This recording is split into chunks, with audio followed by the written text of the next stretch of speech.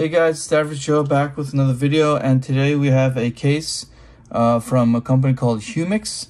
Uh, they reached out and asked if I wanted to review this case for them and when they showed me that it was a waterproof case, I immediately said yes because I have been in the market for a while to look for a, a an affordable option. I know there's a lot of other cases out there that can kind of be expensive, uh, but I know Humixx um, they seem like to be a pretty popular brand on Amazon, so I was excited when they reached out. Um, now, this is perfect for me because, you know, in the winter, uh, which is coming around, my family and I, we like to go skiing. And when we ski, I like to take my phone out to kind of record my family, you know, doing what they're doing.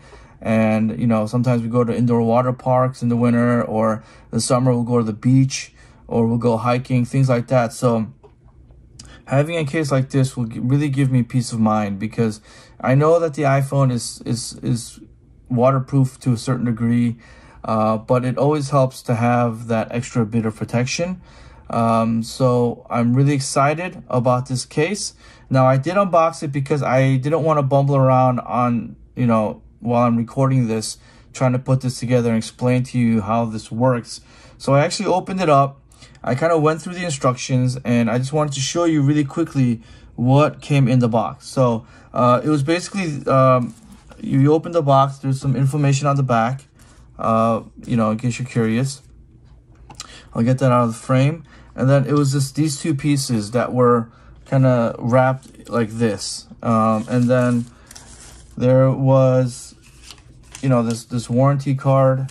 Uh, it comes with this nice little lanyard for the wrist uh, a microfiber cloth, um, and then some instructions on how to uh, install the case and some more detailed instructions on how to install and use it. So, uh, yeah.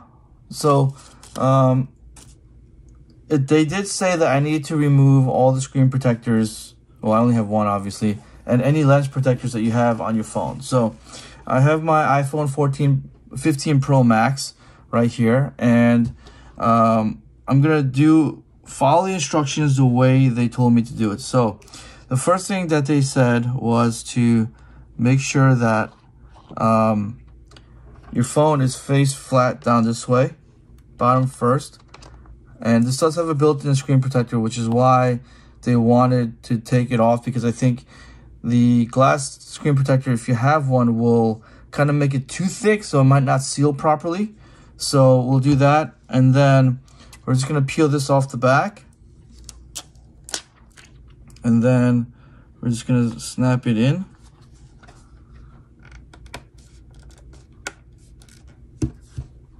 Just make sure everything snaps into place. It has a good seal and you can hear the snapping so you know that things are locking into place. And there we go. Um, it's installed so we can just peel this off the back and it's got a nice clear uh, I'm, this does feel like um, polycarbonate it's not glass and then it has these lens protectors right there as you can see and then on the front we're going to peel this off and it's very it's wow it's very responsive. Um it does have a little tackiness to it i think which is good given that if the water and stuff gets on it you know it might be a little slippery. So it's nice to have a little tackiness. So the response is really good on this. No issues with that. And then on the bottom you'll see this. Um these are all um, sealed up uh, so here's the thing that they mentioned in the instructions. So the microphone is right here. So when you're on a call, what you're supposed to do is kind of peel this silicone back. I don't know if you can see it right like that. So you're going to peel that back and put it like, and stick it right that way so that the microphone is opened up so that you can, you know, make a call without any issues. And then when you're done, this you just flip it back and that rubber gasket will seal it so that nothing happens. And then right here you have the charging port for the USB-C. Wow, it's really uh really tight. And then there you go. And you can see it is, I don't know if you see how it's glossy right there where the speaker grills are. Um, it is taped up, so it is sealed, so you don't have to worry about water getting into there. Um, so yeah, um, I'm gonna just cut right now, and then we're gonna just run this through some water and kind of see how, how well it does. All right, I'll be right back. Just one more thing before I get to the water test, sorry. Uh, I just wanted to give you an overlook of the phone, of the case. Um, it's got the rails, it's got some grippiness on the rails. Um, let me just close out this. Yeah, and the back, because it's polycarbonate, it is pretty tacky and grippy, so it's not going to slip out of your hands that well or that easily. And the buttons, very clicky. Um, and as you can see here, there is like a film. I don't know if you can make that out on camera, but there is a film over the action button. So it is sealed, but you are still able to press it. You just have to, you know, get your finger in there. And it does work with MagSafe. It's just, um, there's no MagSafe ring. So it's not gonna, I'm assuming it's not gonna have the strongest bond. Okay. So it will find the ring. It will find it. Um, as you can see, it's lining up to it. But, you know, it's not gonna adhere to it at all. So it will charge if you have a MagSafe charger that's kind of, you can lay down flat on the table.